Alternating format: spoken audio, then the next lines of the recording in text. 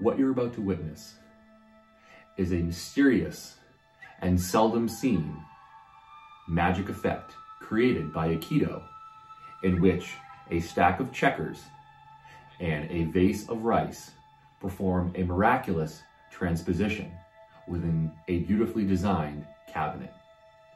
Join me now as we watch and witness the Chinese checker cabinet.